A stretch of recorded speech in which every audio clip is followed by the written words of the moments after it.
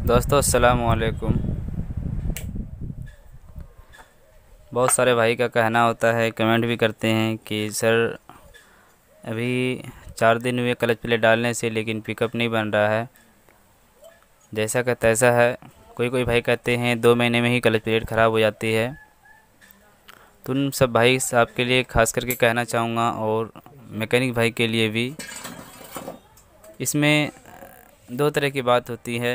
एक, कस्टमर भूल करते हैं कि कस्टमर ये ये कहते हैं कि यार अभी कम खर्चे में ही चला दो, हमारा काम हो जाएगा, फिर बाद में हम और भी पैसे लगा के हम अच्छे से गाड़ी बनवा लेंगे। तो इस तरह का कहना होता है कस्टमर का।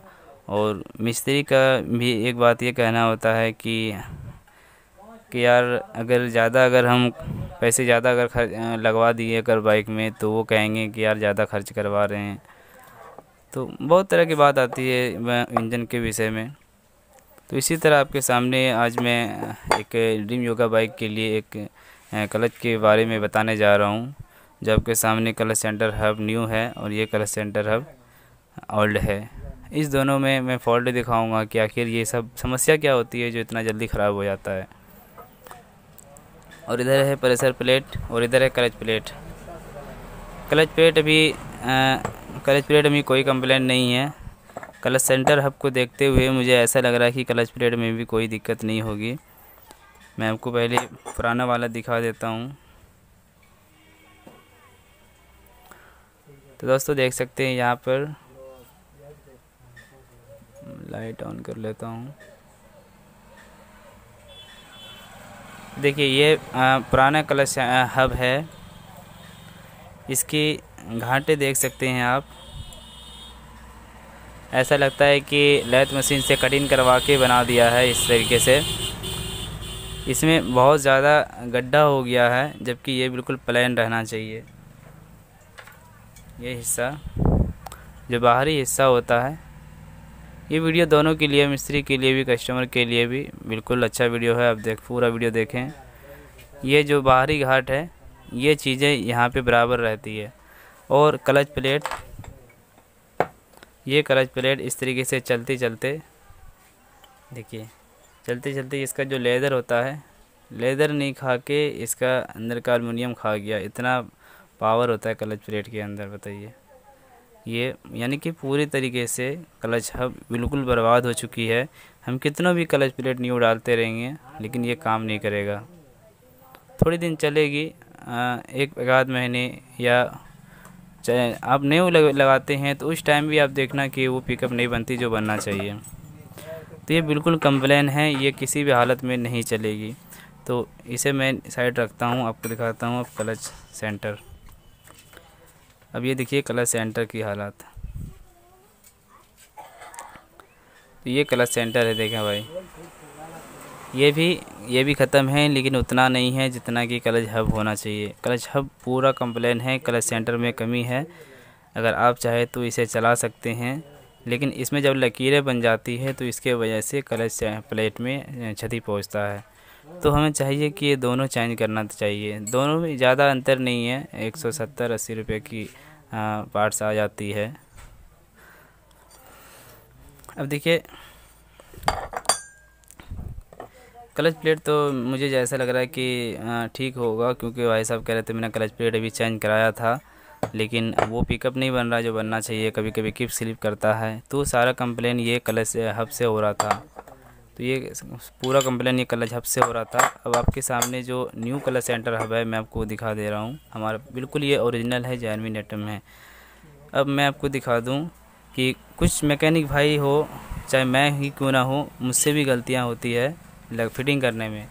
अब हमें ये नहीं आ, सोचना है कि यार हम इतने बड़े मिस्त्री हैं तो हमसे गलती नहीं होगी। ज़रूर गलती होती है और हुआ भी है एक होंडा शाइन बाइक में, उसका मैंने वीडियो भी अपलोड किया है।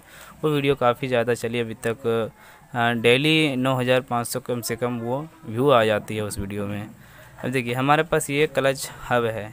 इसमें देखिए, थोड़ा सा कंप्लेन है। एक भाई कमेंट किया, यार ओरिजिनल रहते हुए फिर भी ऐसा क्यों होगा? ऐसा तो नहीं होना चाहिए।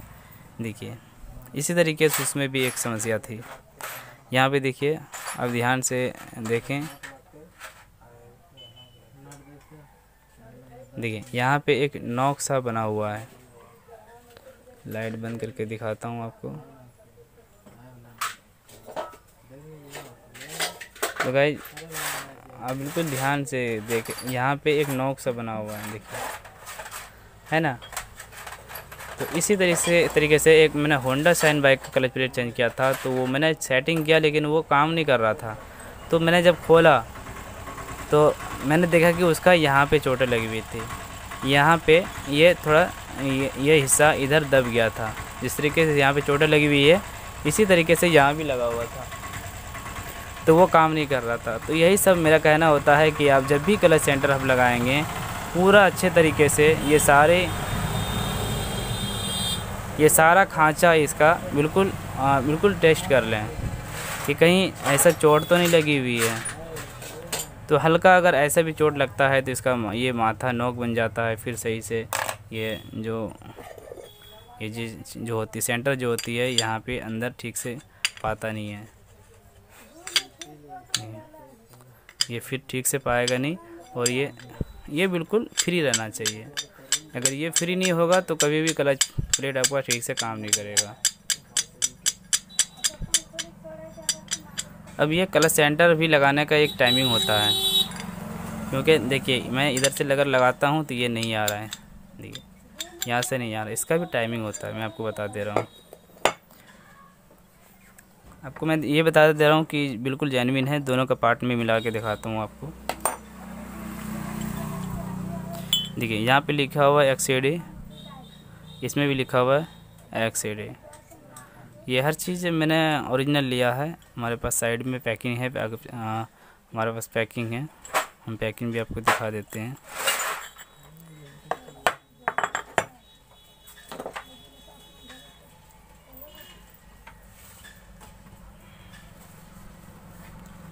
ये देखिए, ये है, ये क्लच हब का है, ये दो सौ पैंतालीस रुपये है क्लच हब का दाम।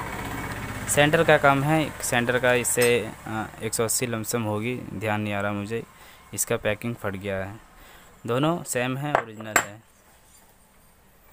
देखिए, इसमें भी वही चीज़ लिखा हुआ है, जिससे बिल्कुल लिखा हुआ है, बिल्कुल अच्छे तरीके से लिखा हुआ है। अगर हल्का लिखा हुआ हो तो आप समझिए कि डुप्लिकेट है, लेकिन मेरे समझ में तो आ रहा है बिल्कुल ओरिजिनल है। जानते मैं इसकी क्वालिटी देख रहा हूँ, क्वालिटी भी देखा जाता है इसका। तो चलिए मैं अब इसका थोड़ा, मैं, मैंने जो देखा यहाँ पे जो थोड़ा कमी है, मैं इसको सही कर लेता हूँ, इस जगह को।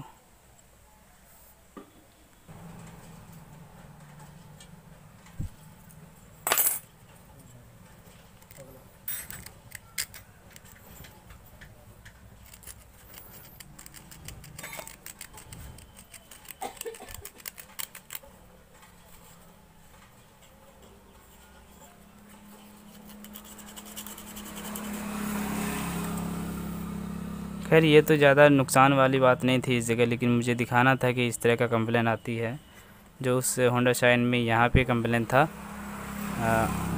होंडा शाइन के क्लच हब में यहाँ पे कंप्लेन था, ये थोड़ा नोक निकल गया था। आप देख भी सकते हैं कि मैंने उस तरीके से एक वीडियो बनाया है कि क्लच सेंटर हमने भी लगाया, लेकिन फिर भी काम नहीं किया पिकअप नहीं बन रहा है। तो चलिए हम आपको बताते हैं कि आपको सेटिंग कैसे करना है। देखिए, हमें पहले इस क्लच प्लेट को इस तरह सब में करते हैं, उसी कैसे करना है। और इसका तो धार वाला हिस्सा जो होता है, ये ऊपर होता है।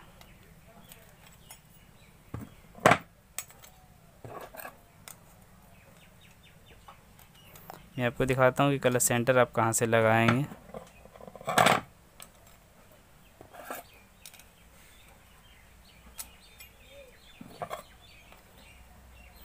देखिए, ये मैंने सभी प्लेटें लगा दिया है इसके अंदर।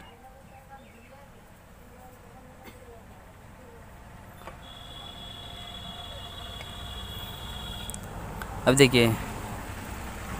अब दोस्तों, इसको इस तरीके से मिला लें।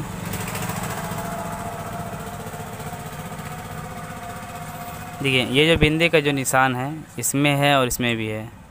इस बिंदी के निशान को दोनों को हमें मिला के लगाना होता है।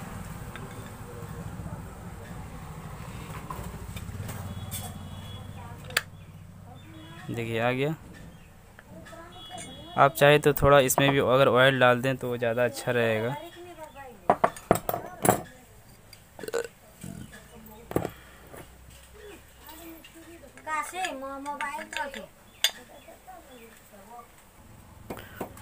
तो गाइज़ इस तरीके से आप सेटिंग कर सकते हैं और यहाँ कोई दिक्कत नहीं है, बिल्कुल कंप्लीट है। मेरे ख्याल से इसमें अब कोई कंप्लेंट नहीं होनी चाहिए। तो मैं उम्मीद करता हूँ कि आप मेरी बातों को समझ चुके होंगे। वीडियो को लाइक और शेयर ज़रूर कर दीजिए और चैनल में नए हैं, चैनल को सब्सक्राइब कीजिए। थैंक यू भाई थैंक्स फॉर वाचिंग